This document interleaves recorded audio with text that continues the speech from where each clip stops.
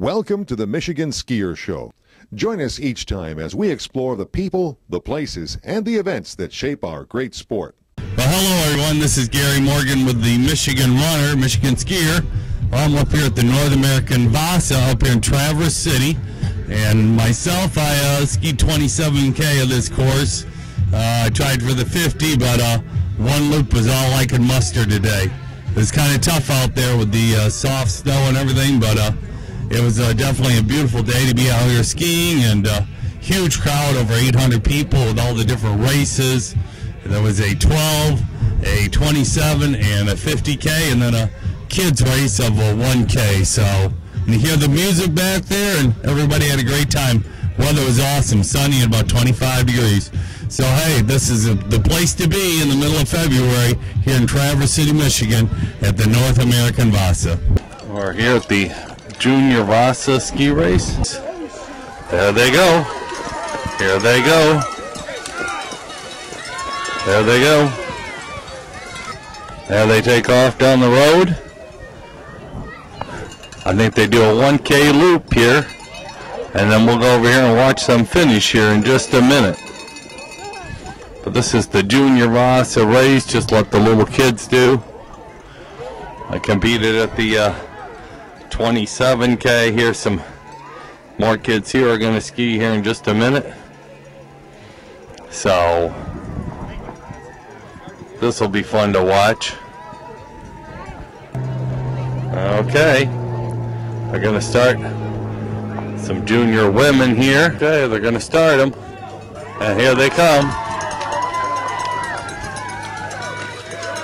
Come all, all those ski racers, yeah. And we'll go over to the finish line and watch them finish. There she goes. Yeah. Brother sister combo here. Huh?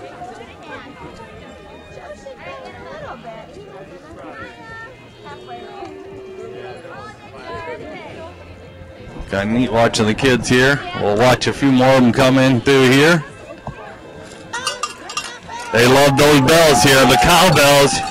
Here comes the little girl with her locks and oh yeah, here she comes on in, yeah. Awesome, yeah. Get a little medal.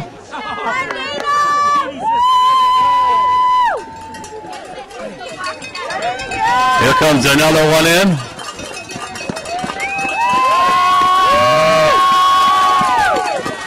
Yeah.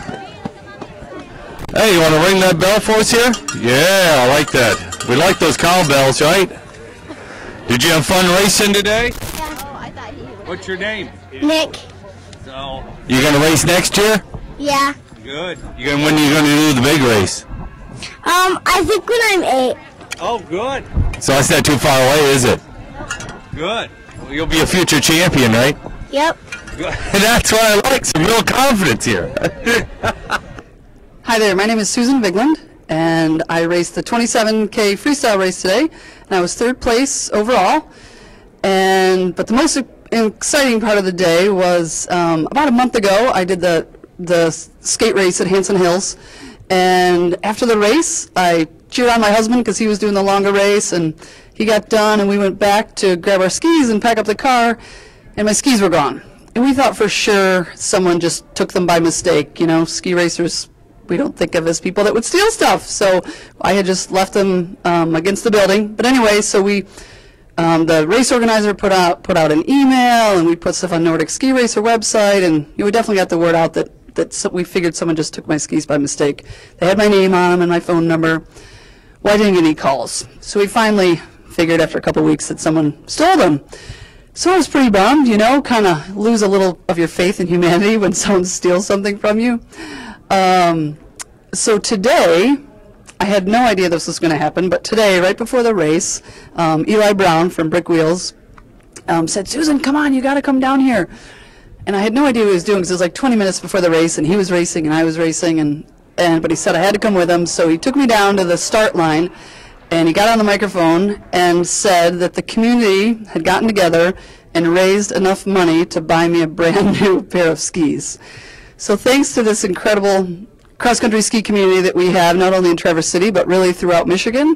Um, they bought me a brand new pair of skis, and I skied on them today, and it was incredible. So just a pretty cool end to a kind of a not such a great story at the beginning, but uh, restored my faith in humanity, and uh, pretty exciting that we have such a great community of people that, that would that would do that for me and buy me a new pair of skis. So that's it.